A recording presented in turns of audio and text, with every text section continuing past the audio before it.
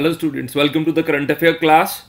Now in this class we will be dealing with very important topic that is Chief of Defense Staff.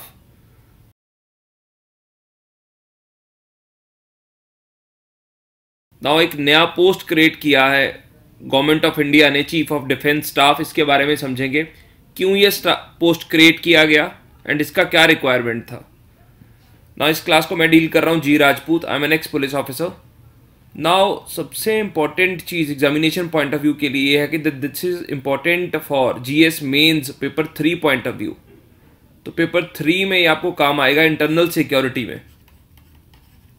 तो UPSC इसको काफ़ी chances है कि prelims में भी पूछ सकता है एंड मेंस में भी पूछने के बहुत ज़्यादा चांसेस है इस टॉपिक को।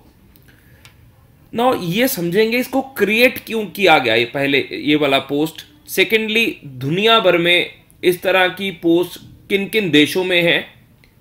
एंड ये जो नई पोस्ट क्रिएट की गई है, उस पोस्ट में जो भी इस पोस्ट को ऑन करेगा, वो कौन सा यूनिफॉर्म पहनेगा?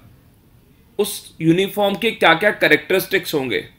तो ये सारा कुछ समझेंगे और डिफेंस को लेके आज तक कौन कौन सी कमेटीज बनी हैं और उनकी क्या रिकमेंडेशंस रही है चीफ ऑफ़ डिफेंस स्टाफ को लेके। ना फ़र्स्ट ऑफ़ ऑल ये पोस्ट क्यों क्रिएट की गई? इसको समझना बहुत ज़्यादा ज़रूरी है। चीफ ऑफ़ डिफेंस स्टाफ देखिए, ये पोस्ट इसीलिए क्रिएट किया गया क्योंकि हिंदुस्तान में जो सिक्योरिटी का मैटर है, ये बहुत डिफ्रेंशिएटेड परस्पेक्टिव से डील किया जाता है। क्या मतलब क्या है इसका? मैं जो वर्ड अभी आपको बोल रहा हूँ डिफरेंशिएटेड परस्पेक्टिव हमारी डिफेंस में डिफरेंशिएशन बहुत है। डिफरेंशिएशन का ये मतलब है कि हम, हमारा जो आर्मी है, हमारे पास स्पेशलाइजेशन बहुत है। आर्मी अलग चीज़ों को डील कर रही है नेवी अलग तरह के डिफेंस को देख रही है एयरफोर्स अलग तरह के डिफेंस को देख रहा है। एयर वाटर एंड लैंड के लिए अलग अलग हमारे पास सेटअप्स हैं। तो डिफ्रेंसिएशन बहुत है। स्पेशलाइजेशन है। तो प्रॉब्लम कहाँ पे आती है? प्रॉब्लम आती है हमें ज्वाइंटनेस में प्रॉब्लम आती है हमें कि ये इंटीग्रेटेड वे में जब दुश्मन आएगा तो ये आपस में ये तीनों फोर्सेस किस तरह से इंटीग्रेट करेंगी? किस तरह से कम्युनिकेट करेंगी? सबसे ज़रूरी चीज़ है communication that is the most important thing अगर ज्वाइंट कम्युनिकेशन नहीं करेंगी ये तो आप दुश्मन को नहीं हरा सकते। दुश्मन को हराने के लिए एक ऐसा ज्वाइंट एफर्ट चाहिए कोऑर्डिनेटेड एफर्ट चाहिए देखिए, जब कारगिल का लड़ाई हुआ, कारगिल की लड़ाई में सबसे बड़ी प्रॉब्लम हमारे पास ये थी कि हमारी आर्मी नेवी और एयरफोर्स आपस में कोऑर्डिनेट नहीं कर पाई। तो 20 साल, आज से 20 साल पहले एक कमेटी सेटअप की गई, कारगिल रिव्यू कमेटी अभी कारगिल रिव्यू कमेटी की सबसे बड़ी रिकमेंडेशन तो यही थी कि आप chief of defence staff create कीजिए। एक ऐसी अथॉरिटी क्रिएट कीजिए जिसके पास ये अधिकार हो कि कैसे तालमेल बिठाना है तीनों फोर्सेस के बीच में? नेवी के बीच में एयरफोर्स के बीच में एंड आर्मी के बीच में। अगर तीनों के बीच में तालमेल सही होगा ज्वाइंटनेस सही होगी तो हम दुश्मन को हरा सकते हैं। दूसरी सबसे बड़ी प्रॉब्लम क्या है हिंदुस्तान में? कि जो हमारी ये एयर फोर्सेस है, इन सबके अलग अलग हेडक्वार्टर्स हैं एंड जो मिनिस्ट्री ऑफ़ डिफेंस है, उसका एक अलग हेडक्वार्टर है। तो तालमेल में बहुत प्रॉब्लम आता है कोऑर्डिनेशन में प्रॉब्लम आता है तो कोऑपरेशन में प्रॉब्लम आता है। इस तरह का प्रॉब्लम ना हो। इसीलिए जितनी भी कमेटीज आज तक बैठी हैं, उन्होंने यही रिकमेंड किया था कि तीनों फोर्सेस के हेडक्वार्टर्स मिनिस्ट्री ऑफ़ डिफेंस में होने चाहिए। तो ये देखिए, ये कारगिल रिव्यू कमेटी थी, आज से 20 साल पहले बैठी थी। इन्होंने बताया था कि एक विजन डॉक्यूमेंट होना चाहिए नेशनल सिक्योरिटी स्ट्रेटेजी का। चीफ ऑफ़ डिफेंस स्टाफ की पोस्ट होनी चाहिए। एंड आर्मी नेवी और एयरफोर्स इनके ज्वाइंट थिएटर्स होने चाहिए, क्योंकि अलग ढंग से काम करेंगे। तो इनको भी ट्रांसफॉर्म करना पड़ेगा इनकी वर्किंग को। रीस्ट्रक्चराइजेशन हमें करना पड़ेगा। एंड सबसे इंपॉर्टेंट चीज़ इंटीग्रेशन करना पड़ेगा मिनिस्ट्री ऑफ़ डिफेंस का सर्विस के हेडक्वार्टर्स के साथ।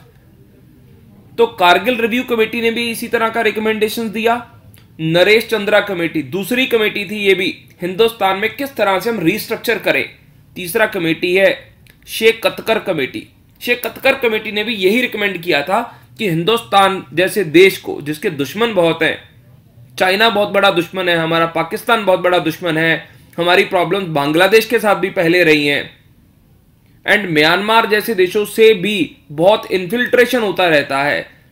तो हमारी नेवी आर्मी और एयरफोर्स को ज्वाइंटली कोऑर्डिनेट करना पड़ चाहिए। ज्वाइंटली इंटेलिजेंस शेयर करना चाहिए। तो इसीलिए हमने चीफ ऑफ़ डिफेंस स्टाफ का ऑफ़िस बेसिकली अब क्रिएट कर दिया। नरेंद्र मोदी ने इसको अनाउंस किया था पिछले साल 15 अगस्त को रेड फोर्ट पे।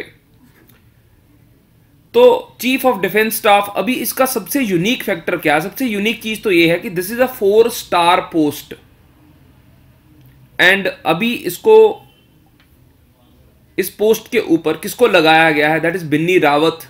Last जो हमारे आर्मी जनरल थे, उनको चीफ ऑफ़ डिफेंस स्टाफ की पोस्ट दे दी गई है। एंड अब वो जो यूनिफॉर्म पहनेंगे, उसके करेक्टरिस्टिक्स अभी हम थोड़ी देर के बाद समझेंगे। पाँच, दो, एक, दो, तीन मिनट के बाद। ना सबसे इंपॉर्टेंट चीज़ अब क्या हुआ है? ना चीफ ऑफ़ डिफेंस स्टाफ क्या होगा? इसके कुछ करेक्टरिस्टिक्स समझेंगे हम। It will be the highest rank officer of सबसे ज़्यादा रैंक रहेगा, क्योंकि आपने कोऑर्डिनेशन कराना है तो आपके पास ज़्यादा अधिकार भी चाहिए। तो आर्मी नेवी और एयरफोर्स का कोऑर्डिनेशन कराएँगे एंड ये प्रधानमंत्री को एडवाइस देंगे। So chief of defence staff will serve as the unified military adviser this is a very important word इस की वर्ड को मेन्स में आंसर राइटिंग में यूज़ कर लीजिएगा। एंड जितने भी न्यूक्लियर के मसले हैं, उनमें भी कौन सजेशन देगा आपको? चीफ ऑफ़ डिफेंस स्टाफ अभी चीफ ऑफ़ डिफेंस स्टाफ बैठेंगे कहाँ पे? ये बहुत ज़रूरी चीज़ है। चीफ ऑफ़ डिफेंस स्टाफ का बेसिकली ऑफ़िस क्रिएट किया गया मिनिस्ट्री ऑफ़ डिफेंस में। डिपार्टमेंट ऑफ़ डिफेंस मैटर्स एक अलग तरह का डिपार्टमेंट कर क्रिएट कर दिया गया है। डिफेंस मंत्रालय के बीच में। वहाँ पे वो बैठेंगे, वहाँ पे वो डिफेंस मिनिस्टर को भी सजेशन दे सकते हैं, प्रधानमंत्री को भी सजेशन दे सकते हैं and he will also act as adviser to the president क्योंकि हमारी तीनों जो आर्मी नेवी और एयर फोर्सेज हैं, इनके formally head president of India है। So he will act as an adviser ये सजेस्ट किसने किया? इसकी पावर्स कौन कौन सी पावर्स मिलेंगी चीफ ऑफ़ डिफेंस स्टाफ को? उसके लिए कमेटी सेटअप की गई थी। नरेंद्र मोदी गवर्नमेंट ने कमेटी सेटअप किया था अजीत डोवाल के अंदर। अजीत डोवाल ने सजेस्ट किया था कि सीडीएस क्या क्या काम करेंगे? किस तरह से ये तालमेल बिठाने की कोशिश करेंगे? अभी हमें ज्वाइंटनेस की ओर मूव करना है। हमारा सारा डिफ्रेंशिएटेड अप्रोच है अलग अलग तरह से ऑपरेट कर रही हैं तो तालमेल में अभी ये हेल्प करेंगे यूनिसन आएगा इससे। तो बेसिक गोल हमारा यूनिसन है बेसिक गोल हमारा साइनर्जी है, ताकि तालमेल बिठा के काम किया जाए। सैनर्जी का क्या मतलब है? तीनों मिलके जब अपनी अपनी ताकत लगाएँगे अपना अपना इंटेलिजेंस शेयर करेंगे तो हिंदुस्तान की सिक्योरिटी को बहुत ज़्यादा फ़ायदा पहुँचने वाला इस चीज़ से। बिनी रावत का ये पिक है, ये हमारे नेक्स्ट आर्मी जनरल है, जो बिनी रावत के बाद आए हैं। तो बिनी रावत जी का आप कह सकते हैं कि प्रमोशन हो गया है। सबसे इंपॉर्टेंट चीज़ सीडीएस के बारे में चीफ ऑफ़ डिफेंस स्टाफ के बारे में, कितना टेन्योर होगा, वो डिसाइडेड नहीं है। बट ये बात कही जा रही है कि अगर हिंदुस्तान की नेवी, मिलिट्री और एयरफोर्स को आपने रीस्ट्रक्चर करना है, बहुत ज़रूरी है, कम से कम तीन साल दीजिए इनको। तीन साल अगर आप इनको देंगे तो बहुत अच्छे ढंग से चीज़ों को स्ट्रक्चर कर पाएँगे ट्रांसफॉर्म कर पाएँगे। बेसिकली आज की डेट में हमारे डिफेंस स्ट्रक्चर को मेटामॉर्फोसिस का ज़रूरत है। कंप्लीट ऑल्टरेशन चाहिए। So that's will be provided by Bipin Rawat अभी बिनी रावत जी क्या करेंगे? बिनी रावत जी का यूनिफॉर्म किस तरह का होगा, ये देख लीजिए। ये ट्राई सर्विसेज़ का क्रेस्ट है। यहाँ पे जो कैप ये पहनेंगे, ठीक है, उसके ऊपर ट्राई सर्विसेज़ का क्रेस्ट होगा। न, कंधे के ऊपर। यहाँ पे जो बैज लगा होगा, शोल्डर के ऊपर जो बैज लगेगा, उसमें अशोक एम्बलम रहेगा, प्लस ये ट्राई सर्विसेज़ का क्रेस्ट रहेगा। ये बहुत इंपॉर्टेंट है, ट्राई सर्विसेज़ क्रेस्ट। ठीक है, इसको याद रखिए, जिस गाड़ी में मूव करेंगे बिनी रावत, उस गाड़ी के ऊपर भारत का झंडा भी रहेगा प्लस ट्राई ट्राई सर्विसेज़ का क्रेस्ट रहेगा, ये बहुत इंपॉर्टेंट है। बेल्ट के ऊपर भी ट्राई सर्विसेज़ का क्रेस्ट रहेगा।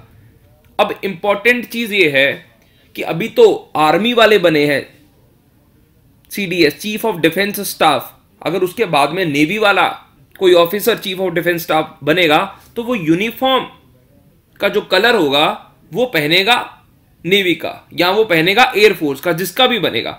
अभी फॉर द प्रेजेंट मोमेंट जो यूनिफॉर्म बिनी रावत पहनेंगे, उसका कलर होगा ऑलिव ग्रीन तो दिस इज़ वेरी इंपॉर्टेंट सबसे इंपॉर्टेंट चीज़ क्या? कम से कम तीन साल दीजिए, क्योंकि आपको बहुत सारी स्ट्रेटेजिक ऑल्टरेशन करनी है। क्योंकि ये जॉब बहुत सारा स्ट्रेटेजिक जॉब है जो करेंगे अभी बिनी रावत। पर्सनल सुपरविजन चाहिए। एंड इतने कम समय में चीज़ों को जब करना है मतलब जल्दी जल्दी चीज़ों को चैलेंजेस बहुत है। चाइना से चैलेंज है पाकिस्तान से चैलेंज है। तो कम से कम दोबारा से मत किसी को इस पोस्ट पे लगा दीजिए जल्दी जल्दी। सिक्योरिटी ऑफ़ टेन्योर चाहिए, कम से कम तीन साल का। उससे चीज़ें कंप्लीटली ट्रांसफॉर्म हो जाएँगी। So this was all for this class बहुत ज़्यादा इंपॉर्टेंट टॉपिक है। कुछ भी आपको समझ नहीं आया हुआ, होगा अगर इस टॉपिक में तो प्लीज़ कॉन्टैक्ट कर लीजिएगा मेरे से। This is my WhatsApp number save कर लीजिए जी राजपूत के नाम से। कभी भी आई रिलेटेड आपको कुछ भी प्रॉब्लम आए तो मेरे से कांटेक्ट कर लीजिए, हमारे यूट्यूब चैनल को सब्सक्राइब ज़रूर कर लीजिए। क्वालिटी वीडियोस आपको मिलता रहेगा, हर एक चीज़ की जड़ तक हम पहुँचते रहेंगे एंड आपको हर चीज़ का समझ आता रहेगा। एंड सबसे इंपॉर्टेंट चीज़ आंसर राइटिंग प्रैक्टिस करने के लिए ब्रेनी आई से बेटर प्लेटफॉर्म नहीं है। क्योंकि जो सॉफ्टवेयर हमने बनाया आंसर राइटिंग प्रैक्टिस के लिए it is a patented software उसको यूज़ करके आप अपने आंसर राइटिंग स्किल्स को इम्प्रूव कर सकते हैं। तो उसकी एप्लीकेशन भी अवेलेबल है गूगल प्ले स्टोर के ऊपर, जिसका नाम है I S answer writing Magica उसको भी डाउनलोड कर लीजिए। और कोई भी प्रॉब्लम हो तो कॉन्टैक्ट कर लीजिए। This was all for the day bye bye take care have a nice nice day